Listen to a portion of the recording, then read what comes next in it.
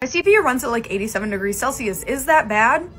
It can be. If you're a PC owner in any way, whether you're an enthusiast or an actual gamer, you probably know the term idling. This is when your PC's genuinely doing nothing. Its components are not doing anything. Your PC's on, but you're not actually doing anything. You're just at the desktop. The term idling is generally used when you're talking about your temperatures. For instance, I could say my CPU is idling at degree. Now in this comment, the user actually doesn't specify whether the PC is idling or not. However, if it is idling, you're probably not doing too hot.